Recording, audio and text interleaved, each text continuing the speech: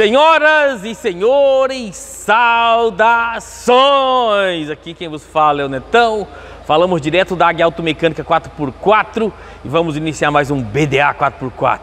Bastidores da Águia 4x4, o seu canal de caminhonetes do YouTube. Se você é novo no canal, saiba que nós temos uma comunicação visual que é o nosso meu boné. Cada vez que uso um boné de uma determinada marca, é porque nós vamos falar de uma caminhonete desta marca. Se eu estou com meu boné incrivelmente vermelho, vou até conferir aqui. é que vamos falar de Mitsubishi, do famoso motor 4D56. Infelizmente conhecido por ser um motor que aquece muito. Isso não é lenda urbana nem trilha da oposição. Isso é um fato, é uma verdade. Existem várias receitas na internet de como fazer esse motor não esquentar tanto, o famoso kit gelo. Enfim, mas não é disso que vamos falar hoje, moçada. Eu estou mostrando para vocês que estamos aqui com a uma L200 Outdoor, incrivelmente prata, caminhonete que eu falaria para vocês, muito bela, muito bonita, esse conjunto cinza fosco nas, nos, nos, nos para-choques, moldura de lanterna, fender de paralama, para-choque dianteiro, ficou de excelente bom gosto, certo? Essa caminhonete estamos fazendo o motor dela. Eu vou aproveitar esse motor, esse, essa caminhonete agora aqui, para dar uma dica para vocês de manutenção. Qual é essa dica? O pessoal sempre me reclama que o virabrequim traseiro, o, o, o retentor do virabrequim traseiro, depois que troca o original, continua vazando e não para mais. Sempre vazando, vazando, vazando. Muito bem. Eu vou mostrar para vocês, vou tentar elucidar essa questão para mostrar para vocês o porquê que esse retentor vaza desta maneira. Vaza, trocou, coloca, pessoas colocam o retentor original e ainda assim continua merejando. Eu vou explicar para vocês o porquê que mereja, moçada. Na verdade, é a falta de uma peça de vital importância na vedação desse vibrequim. Beleza? Vamos lá então que vocês vão ver agora, aproveitando que estamos fazendo o motor e vou dar esse vídeo, vou fazer esse vídeo mais curto aqui para dar uma dica sensacional para vocês. Vocês vão entender da onde vem os vazamentos também, os possíveis vazamentos após a troca. Combinado? Então vamos lá então. Motor 4D56 montado, esperando uma peça, moçada. Tá esperando uma peça, moçada, mas que faz toda a diferença. Moçada, aquilo que eu falo para vocês, o Zeba. O Zeba ele deixa saudade, moçada.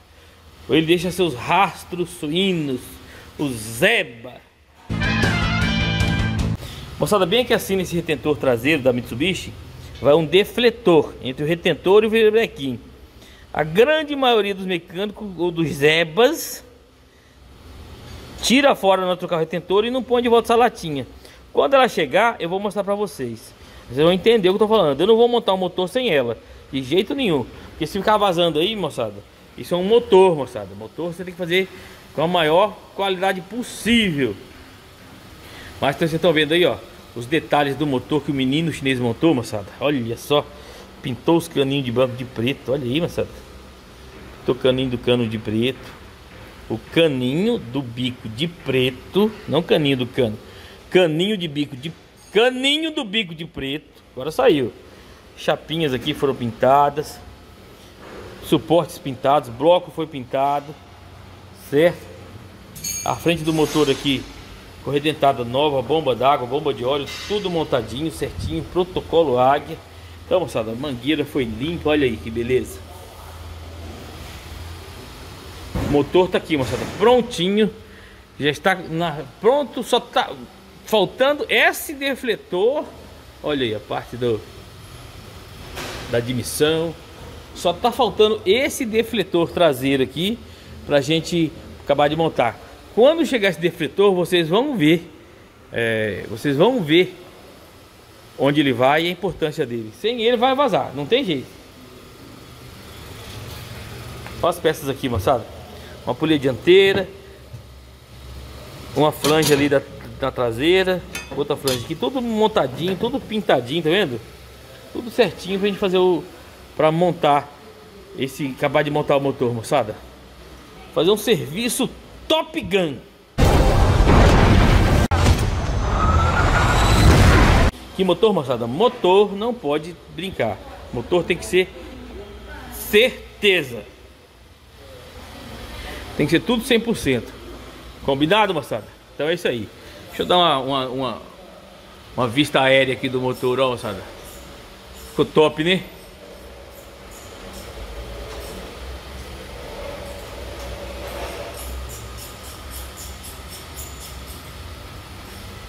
Muito bem, moçada. Então é isso aí.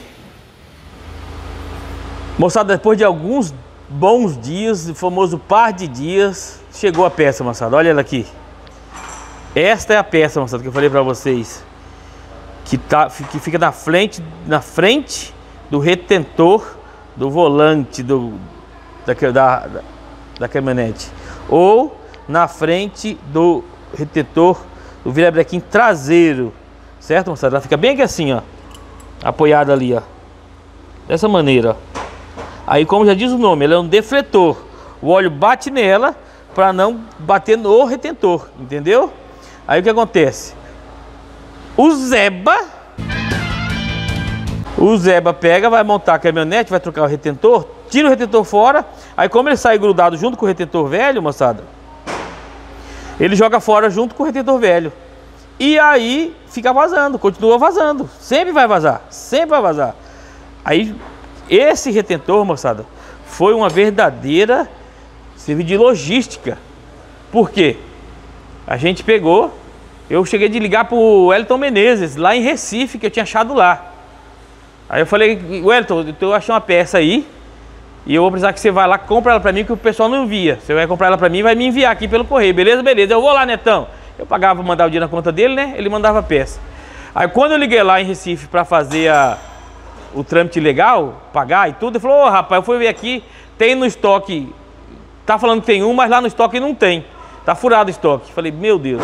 Resumindo, passou algum tempo, achamos em Goiânia, mais perto aqui, achou em Goiânia lá, beleza. De Goiânia veio essa peça que chegou aí. Beleza, moçada? Então teve que fazer, ligar no Brasil inteiro e tá no sistema da Mitsubishi, pra gente ver onde tinha. Foi uma, um serviço de logística nível nível Mossad, nível FBI, nível Scotland Yard, moçada. serviço secreto. É isso aí. Um serviço de uma operação logística Top Gun. Vamos montar ela agora aqui. Por isso que o motor ficou parado esses dias, ó. O motor tá aí montado, certo? Ele ficou parado esses dias. Vamos ver agora como é que monta. E vocês vão entender, ó, moçada. Essa peça aqui, ó. É impressionante. Sem ela vai vazar. E como eu falei pra vocês, eu não vou montar um motor para ficar vazando, né? Então vamos lá agora, vamos montar ela, vocês vão entender como é que ela funciona, beleza? Bora lá. Vamos instalar o retentor do virabrequim traseiro. Moçada, como eu ensino para vocês, retentor é corteco. O que eu puder achar de corteco vai ser corteco nos motores, em tudo que puder. Olha aí, moçada. Corteco, certo? Azul. Ó, NOC. NOC é corteco, viu? NOC, corteco. Vamos instalar agora aqui, moçada, ó. Lembra uma vez que eu expliquei pra vocês sobre essa igrejinha aqui da L200? Ó, deixa eu tentar mostrar aqui. Tá vendo? Ela tem uma aba aqui. Deixa eu colocar de lado assim, ó. Deixa eu ver. Vamos ver aqui. Aí, moçada. Olha lá. Tá vendo essa aba aqui? Deixa eu encostar aqui. Pronto. Ó. Tem uma aba aqui, ó. Essa aba é para apoiar o retentor aí, certo? Muito bem. Só que, moçada, quando esse retentor tá lá no motor, ele fica de frente assim, ó. Ou seja, o retentor não sai por aqui. Você tem que tirar essa igrejinha fora para bater o retentor, porque ele só sai pela frente. Mas a parte de baixo da igrejinha aqui, ó, prende no cárter. No que prende no cárter, o que acontece quando você tira essa igrejinha fora, você tem que passar cola nova aqui. Só que essa cola nova aqui não emenda na cola velha que já vai estar tá no cárter. Aí depois que você troca esse retentor, acontece de vazar bem aqui assim, ó. Na cola velha. Bem aqui assim, ó. É por isso que quando troca esse retentor traseiro dl 200 também é bom fazer o quê? Tirar o, o motor fora. Ah, Netão, você tá doido? Falei, moçada, para fazer um serviço Top Gun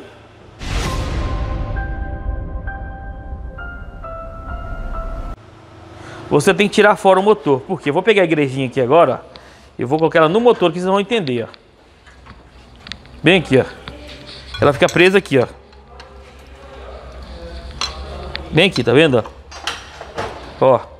Olha ela. Obrigado. O cliente tá ajudando ali, o frio prendeu ali, ó. Ela, pre... ela prende bem aqui, tá vendo? Só que aqui assim, ó, é o cárter. Que é o cárter. Aí ele vem por aqui, o cárter, certo?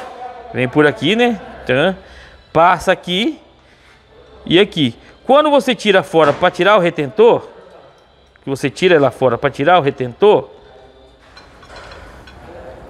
quando você tira ela fora aqui para bater o retentor, o cárter fica aqui. Aqui vai ter a cola já velha aqui. Nesse ponto é provável que vai dar vazamento. Nesse ponto aqui, ó. Infelizmente, moçada, isso é da engenharia. Eu tô passando para vocês a realidade.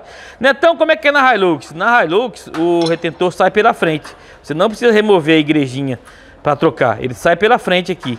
Entendeu? Então você bate por aqui, tira ele fora com a chave de fenda e depois enfia novamente com um, um gabarito de bater retentor para dentro. Beleza, moçada? Então é isso aí, ó. É por isso que eu falo para vocês da igrejinha. E aquele, e aquele defletor que vocês estão vendo, o retentor vai aqui, ó. O retentor vai aqui, certo? O retentor vai aí, certo? Deixa o menino chinês bater o retentor depois. E aqui vai o, o defletor, ó. Vem aqui, ó. Tá vendo? Ó, o defletor vai bem aqui, ó. Só que precisa encaixar ele mais um pouco, né? Ele fica certinho aqui, encaixado aqui, ó. Ali, ó. Moçada, filmar e, e mexer numa, num negócio aqui. Tá. De qualquer forma, moçada.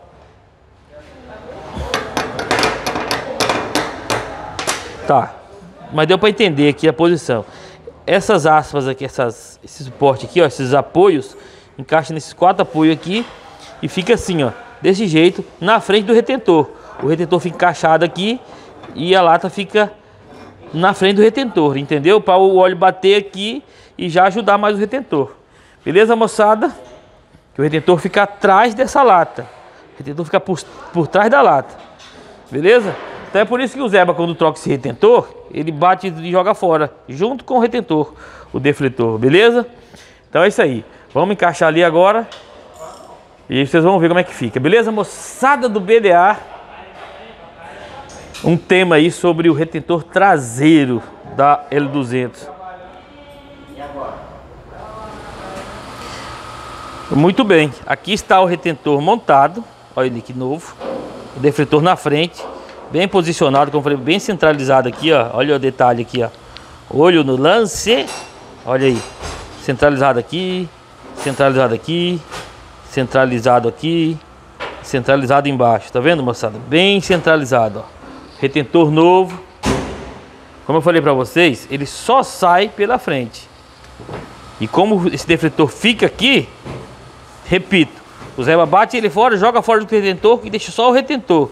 Aí o óleo do motor vem e vem de encontro aqui no retentor, fica forçando, vai dar vazamento.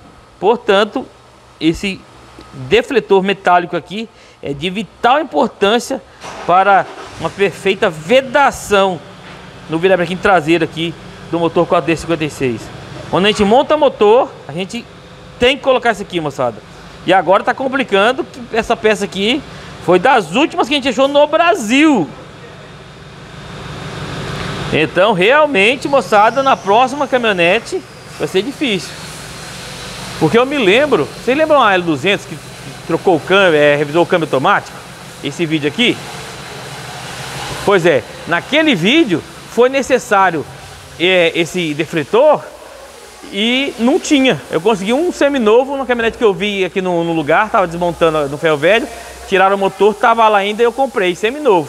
Esse nesse caso aqui teve que vir de Goiás, de fora. Então, vamos ver se vai precisar nas próximas aí, beleza, moçada? Então, é essa maneira aí, a forma que instala esse defletor.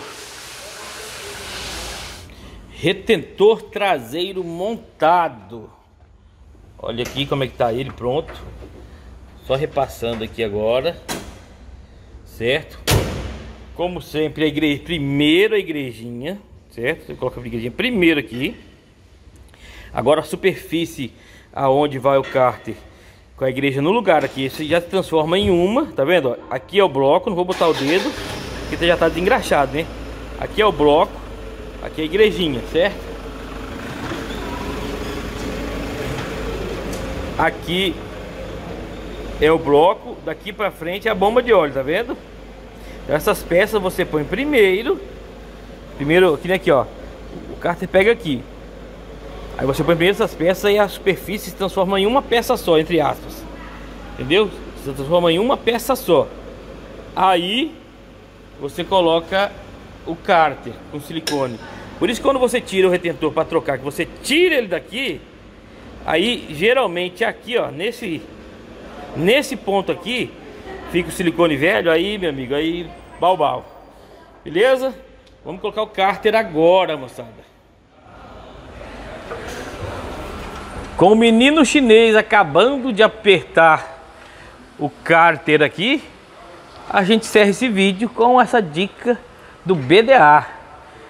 De como trocar esse retentor e mais se, se tiver o retentor, se não tiver esse, esse defletor, não monta porque vai dar vazamento. Agora olha aí, retentor Cortec colocado, cárter. Tá vendo aqui o que eu falei, ó? O cárter aí, o silicone fica aqui, ó. Agora é uma peça só, tá vendo? Uma mão de obra. Adivinha quem fez barulho? Adivinha quem fez barulho? Quem? Quem? Quem? Olha lá! Ele mesmo. Muso, ô Muso, fala a verdade, por que, que você fez barulho? Você, não, você queria que aparecer no vídeo mesmo, Muso. Oi, abraço pessoal. Ó. O pessoal acha que eu mando você fazer barulho, Muso. Eu não mando, Muso, eu mando. Não. I found my thrill. Como eu mostrei pra vocês, ó, tá vendo? Ó, o silicone aqui, o cárter aqui, o cárter sim, uma peça só. Mas a superfície onde ele é acoplado são, são um conjunto de três peças. A igrejinha do retentor traseiro, o bloco do motor e a face da bomba de óleo. Portanto, quando for mexer nele, tem que mexer nessas três partes. Beleza, moçada? Então é isso aí. E desta maneira, nós encerramos mais um vídeo do BDA, o seu canal de caminhonetes classe A, tentando ajudar vocês, proprietários de caminhonetes, e claro, os mecânicos que assistem ao nosso canal, a solucionar esse problema quando ficar crônico. Vazamento crônico é sinal que está sem aquele defletor ali. Beleza, moçada? Dentre outros fatores, retentor ruim, silicone ruim, vira brequim desgastado ali na pista do, do retentor, vira brequim pode estar desgastado ali e vários outros defeitos, mas esse do defletor é o que eu estou mais pegando aqui nos últimos tempos, beleza, moçada? Então é isso aí. E para encerrar esse vídeo classe A, nada melhor que a mensagem classe A das gêmeas. Legal pra vocês. O canal Tuna tem mais de 20 mil inscritos. Está bombando. É mesmo, Laura? Então não se esquece de dar o seu like, se inscrever no canal tocar o sininho de notificações. Aquele abraço. Um coração. Um beijo. Águia Automecânica 4x4. Respeito por você. Respeito por sua caminhonete. Até o próximo vídeo, se Deus quiser. E aquele abraço!